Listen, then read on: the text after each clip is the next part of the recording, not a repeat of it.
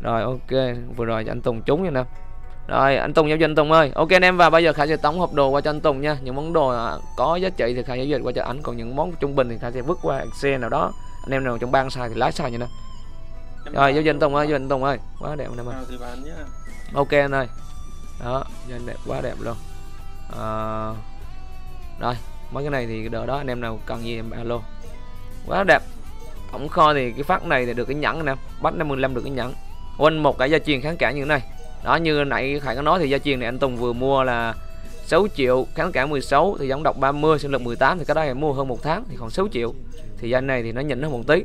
Đó quá đẹp luôn. Thêm được dòng kháng banh với sinh lực thêm được mấy chục nó quá ok. Thêm khoảng tầm uh, 10 điểm uh, sinh khí á, nghĩ đó 10 điểm sinh khí. Rồi quá tuyệt vời. Rồi, ok chúc mừng anh Tùng nha. Về bờ về bờ.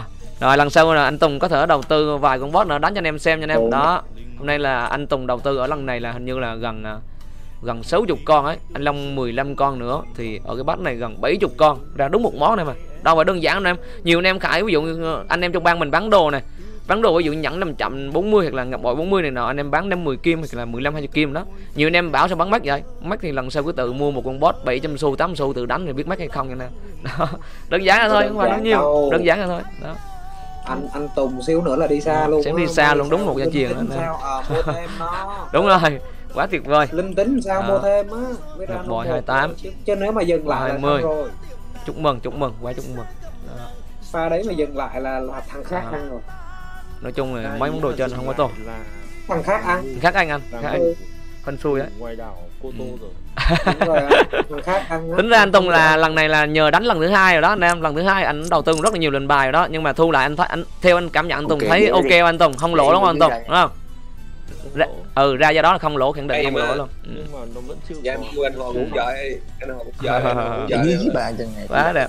Đúng rồi. dạ Giai này có ít lắm phải 5 6 triệu anh em đúng rồi chính xác rồi à, ở lần à, này thì tổng kho thì được gia truyền kháng cả nha anh em. Và anh Tùng đã mang vào rồi. Và chúc mừng. Còn dây này anh đưa khai lại đỡ bán lại anh em trong bang. Anh em trong bang xài thì để anh em xài. Tại vì dây này chỉ có được một dây đúng một dòng kháng cả lại từ dòng độc. Nó không có giá trị bao nhiêu. Mà hầu thiệt sự là cách đây một tháng trước thì nó cũng dặn khá là đẹp. Nhưng mà tầm này thì những da này thì nó chắc là rẻ đúng rồi. Không bao nhiêu em ơi đúng rồi, còn thử còn gửi nha anh em. Rồi, cảm ơn anh em đã theo dõi video và đừng quên nhấn like chia sẻ ủng hộ chơi nha anh em ơi. Và kính chúc anh em một ngày mới vui vẻ nha. Đừng quên nhấn nút đăng ký kênh nha anh em đó